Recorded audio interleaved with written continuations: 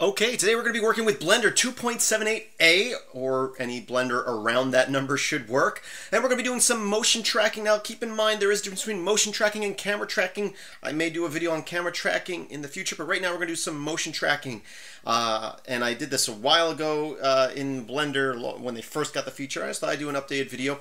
If you check out in the description of this video, hopefully I have a link to a YouTube video, which will be the video I'm using right now. So you can download the exact same file. I've uploaded it to YouTube and and downloaded it, so we'll be working with the same exact copy as you if you download the uh, 1080p version. Uh, so here we go. Uh, first of all, anytime you're working with Blender, you got to remember that Blender's working with frames per second. It's working with frames, uh, not necessarily a timestamp. So if you're going to be working with any type of video clip in Blender, be sure before you really start doing anything to change the frame rate to the frame rate of the videos you're working with. So I'm going to change mine to 30 frames a second here. Next, I'm going to delete the default cube. I'm going to press 1 on my number pad and Control Alt 0 on the number pad to bring my camera into front view. Some people like to do it from a top view down when doing this sort of stuff. I do it from the front view because if I decide to do any type of physics stuff, I want down to be down. Uh, although I, you know, I don't have the grid here, but I don't really use that grid when I'm doing this anyway. So at this point, I'm going to go up to where it says default here and change a different layout. I'm going to choose uh, motion tracking. So now I can click open and I can choose the video I want to work with. So I'm going to go ahead and import that clip. Uh, the first part of this clip, I can scroll through and it's me getting ready. So I'm just going to go to frame 30 and that's where I'm going to start with this particular project. So I'm going to change my start frame here to 30. And if I go all the way through, it seems good till I get to the end here. Yeah, pretty good. So let me go ahead and go to the first frame here and say prefetch. And you'll see this little purple line going here.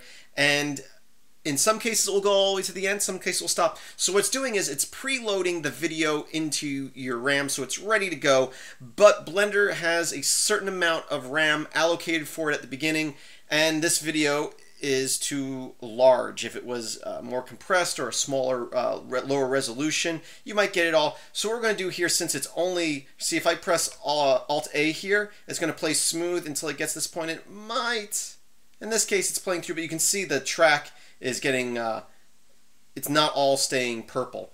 If you want it to all be purple, we're going to go into User Preferences, System, scroll down here, and here you can see Sequencer, Clip Editor, uh, Memory Cache Limit. And now, don't overload your system. I have 8 gigs of RAM, and I also have 8 gigs of swap space set up. So I'm going to set this to, to 4 gigs. By default, it's 1, so I probably only need 2 for this particular project. But if you can't prefetch the whole thing, try increasing this number. Just don't go higher than the RAM you have and leave some space, you know, some buffer room. But I'm going to go 4 gigs there. And now if I click prefetch, it should be able to prefetch the whole thing. There we go. Um, and some projects that makes more of a difference than others. Uh, but definitely for this, I would say go ahead and do that. Next, we're going to say here where it says marker, we're going to say add, and I'm going to click. Now, when you're motion tracking, it's a great idea to put markers in your video. I purposely didn't do that because I wanted to make it more difficult for our tracking. I want to track actually something in the video that I don't have to try to get rid of later, even though our 3D model is going to be over it. But we're going to click mark add, and I'm going to click just, uh, you know, on my hand right here in this dark spot between my fingers. Gonna go ahead and click that, and then I can hit S to scale it up a little bit, and then G to move it around, and you can see a close-up view right here.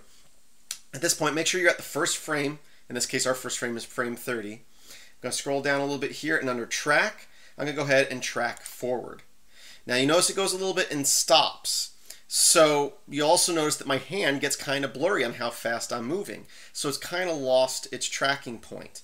Uh, so what we're going to do is we're going to hit left arrow once to go back a frame and then just grab and kind of reposition it. And a lot of times you don't even need to really move it. And then we'll track some more and we'll go a little bit further and stop. And this might happen a lot depending on how clear your video is. One way to get this, and I've watched a lot of videos and most of them don't mention this, as you notice it's saying match here, it says keyframe. So here it's the keyframe, it's trying to look for the keyframe that it originally was searching on. If we change this to previous frame, you're going to get some better, uh, it's going to lose the tracking less often because it's not going to look at, hey, 100 frames ago, what did this look like? It's going to look at what did it look like one frame ago. Now you're more likely to have it go off it's tracking a little bit, but that doesn't really seem to happen too much. So if you're having an issue where it's constantly losing its tracking, you might want to try switching this to previous rather than keyframe. So I'm going to do now, again, I'm going to hit left arrow one more time. And if I hover over this uh, tracking forward button, you can see it says shortcut, it says control T. So instead of going back and forth, I'm just going to hit control T. It'll track a little bit more. I'm going to grab and move it a little bit, control T. And then I'm going to grab and move it to where it needs to be, control T grab and move it where it needs to be, control T, and grab. And again, the reason we're losing it so much is just because my hand is so blurry. And that has to do with lighting and stuff like that, and just how defined uh, my, my tracker is. Um, so this might seem a little annoying, but imagine we're doing, you know, over 200 frames here. If didn't have the motion tracking, even though it's losing it some here, it's still better than going through frame by frame. I probably only had to stop maybe six or seven times there. Uh, it's better than, again, trying to do it frame by frame. Now that I've gotten to the end, I can hit Alt-A, and you can see, make sure that my little tracker follows uh, my hand. Now, again, because of the blurriness and me adjusting it, it might be off a little bit you might, if you're going for real realism, you might want to spend a little more time. One, again, put trackers, something that you can track uh, better in the scene. Make sure you use better uh, lighting and stuff like that. And uh, But this is good enough for this little project here. We're getting a pretty good track here. So I'm going to hit escape to stop that. So how do we take this 2D tracker on this 2D image and relate it to a 3D world? What we're going to do here is we're going to go over here to solve and I am going to go to geometry and say link empty to track. Now I click that and you'll see up here in our 3D view also we have an empty. We're done with the motion tracking part of this. We can now go up here to our layout and go back to default our 3D view here. And you can see that in our 3D scene we have a empty which is just something that's you're not going to see your render. It's basically a point. But when I hit Alt A, you can see it's moving around. And if I hit zero on my number pad to go to camera view, you can see it's moving around in about where my hand was. So I'm going to do now is going to hit Escape. I'm going to hit N to bring out this side uh, panel here. And I'm going to go down to background image. I'm going to click, check that. I'm going to say Add Image. And then here I'm going to say Open and select the same file that I selected before. Now we can see a background image here, and I can hit Alt-A, and you can see that tracker follow my hand. Now, if I hit F12, you're not going to see that background video. We'll get to that in a moment. But now we can link any 3D object to that empty. So what we're going to do is I'm going to hit spacebar and over. The, make sure your cursor's over the 3D view and hit spacebar. I'm going to type in uh, monkey, or you can import whatever model or create whatever model you want. So we have a monkey. I'm going to smooth it so it looks a little nicer. And I'm going to grab it and line it up uh, kind of with my hand. It doesn't even have to be right with the tracker because it's going to move relative to the tracker. So I'm going to put it there so it's over my hand. And you can see it's, it's right there by the tracker. And of course at this point it's not tracking, but with the monkey selected and I shift select that tracker, I can then hit uh, Control P and set the parent. So now this empty, which we don't see when we render, is now it's the parent of our monkey, which means the, the monkey follows it, just like children follow their parents. And I can hit Alt-A now to play the preview, and you can see it's following my hand. Not perfect. It, wobbles around a little bit, again, because our tracking wasn't perfect. Um, so now, if I hit F12 again, you can see the monkey. The lighting's in the background, and it's it's you're going to want to move your lighting. I like to go to my world tab here. And again, I'm working with the internal Blender renderer. So if you're going to work with cycles, hopefully you know how lighting works in that. I'm going to hit environment lighting, change that to, uh, no, sorry, environment lighting and ambient occlusion, occlusion, and change that to multiply. I just like the look of the ambient occlusion with the environment lighting. Uh, what I'm also going to do, just to make it look a little nicer, I'm going to uh, subsurface that monkey. And so we can hit F12 now, you can see what it looks like.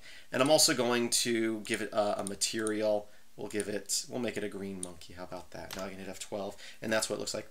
Now you'll notice that our background is a gray. It's our sky color. We can adjust what our sky looks like, but we want to get rid of our sky because we don't want to see the sky. So what we're going to do here is under our render tab, I'm going to scroll down to some place Uh, shading? Yes, shading. And then here where it says alpha sky, we're going to say transparent.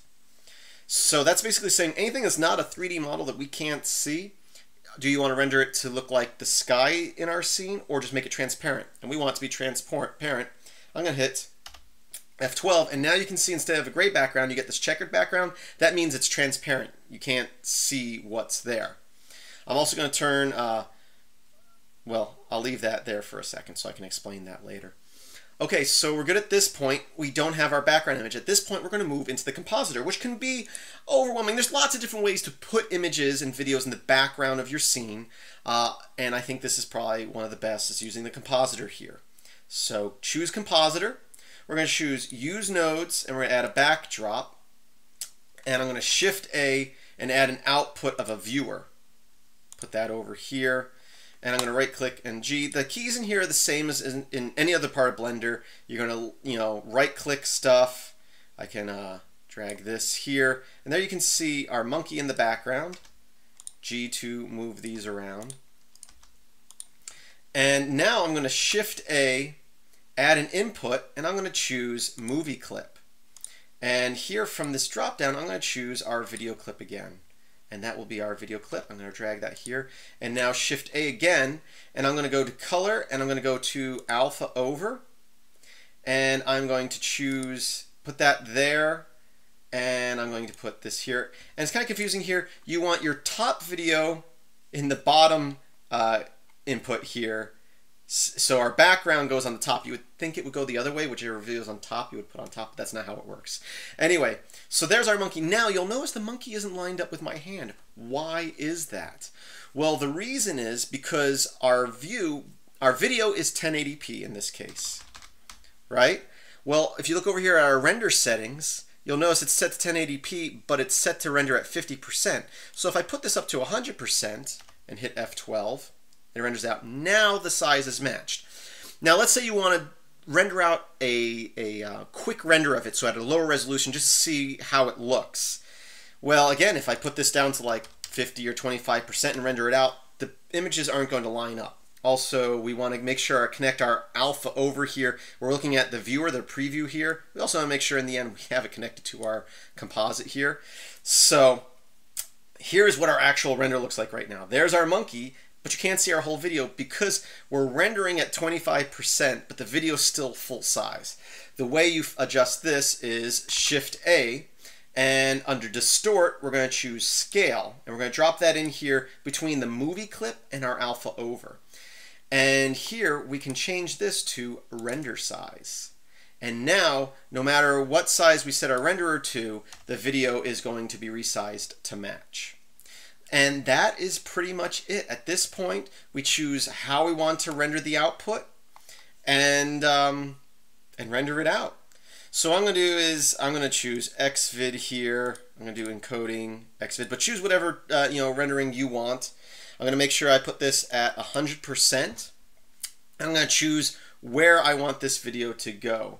Uh, for now, I'll just throw it in my temp folder. I'll call it call it monkey tracking. There we go. Uh, accept. And then at this point I can click animate and it will start rendering out our video here. And right now I'm getting on my machine about a second and a half per frame. We've got just over 200 frames, so it's going to take a couple of minutes, but I'll play the rendered out version at the end here. Um, but that's pretty much it. Uh, other things you might want to think about, I didn't go over in this, is if you want the original audio, uh, you can use the sequence editor to lay down the audio and then you can add a codec here. We have none. We can change this to whatever audio you want and then the audio will play or you can use, you can render out the video and add the audio back later. Uh, right now I'm just rendering it without audio. Uh, but that's it. Now, you know, doing this, there's no shadows casted on me. There's stuff you can do to do that. Basically, you put like a invisible 3D object that renders shadows only where my hand is, motion track that, and then the shadows will be cast on that 3D object, but you won't see the 3D object, you only see the shadows on it. Uh, you'll see that a little bit if I end up having time to do that camera tracking video. And uh, that is pretty much it. And this is, uh, I'll, I'll post it again. Check out the description of this video where you can download this exact video I'm working with. And again, I uploaded it and then downloaded it from YouTube to make sure that I'm working with the same quality copy as you, so there's no questions to you know the quality being a problem. Although I also uh, did a test on this with the same video at half resolution. It still worked. You know, the picture, the picture looked, the video looked more pixelated when I zoomed in, but it still tracked it no problem. And that is it. I thank you for watching. Uh, please visit filmsbykris.com. That's Chris with the K. There should be a link in the description to that. There you can search through all my videos from this channel and my uh, other channel. Also think about becoming a supporter over at patreon.com. If you like my videos and want to support me, patreon.com forward slash metalx1000 is a great way to do that. Link in the description. Even a dollar a month is much appreciated. If you can support me regularly, uh, if you go to, again, filmsbykris.com, you can... Um, uh, there's a PayPal link there that you can send me stuff, uh, money through. That'd be great. I appreciate that.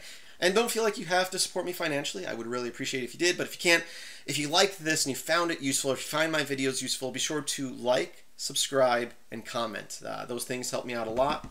And as always, I hope that you have a great day. Here is that video finally rendered.